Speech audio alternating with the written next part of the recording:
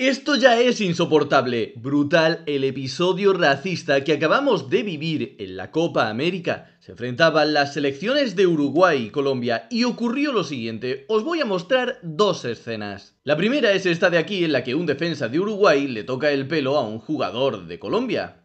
La siguiente es esta otra.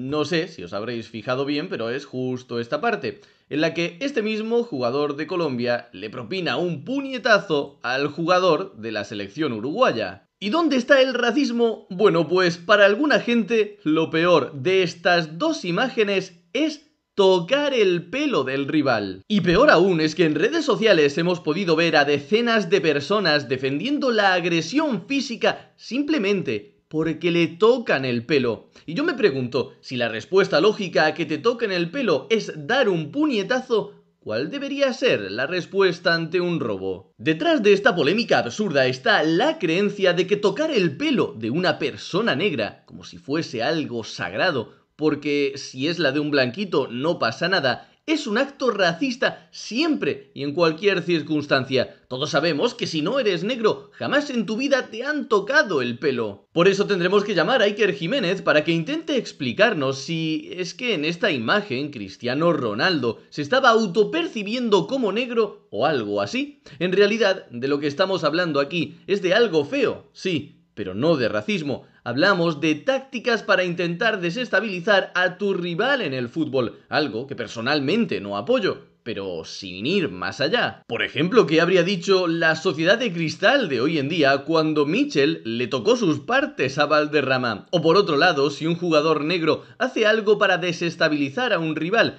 y este después le pega un puñetazo, ¿no hablarían también de racismo pero por parte del que golpea? Por cierto, os recomiendo pasaros por el canal secundario de Informe España, que en el vídeo de hoy comentamos el malvado mapa de la vergüenza machista presentado por el PSOE y ayudamos de muy buena fe a la ministra, que nos pide ejemplos de desigualdad en España, aunque eso sí, Quizás no los ejemplos que ella querría. Y terminando con el fútbol y polémicas, cuando hice el vídeo de la Copa Euroafricana, me dejaron este comentario. Para los que estáis aquí subiéndoos por las paredes con el tema de las selecciones europeas africanizadas, Solo hay que pararse a pensar un poco. Si han sido históricamente un país colonialista, como Francia, Inglaterra o España, pues es más fácil que en tu selección jueguen jugadores negros, ya que estos son descendientes de gente nacida en antiguas colonias europeas en África. ¿Cuántos negros juegan con Dinamarca, Suecia, Suiza, Finlandia?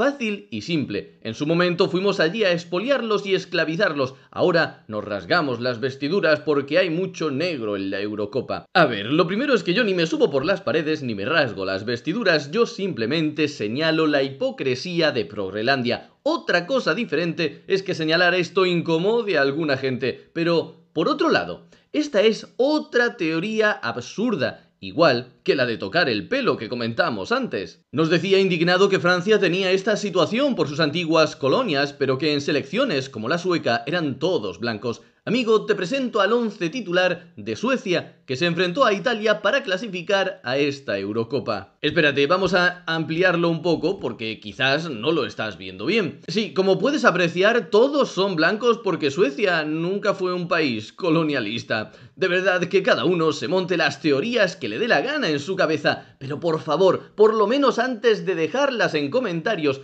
¡Qué mínimo que investigarlas ni que sea dos minutos! Muchas gracias por ver el vídeo, darle a like y suscribirte para apoyar este pequeño proyecto. Como siempre, nos vemos en el próximo vídeo.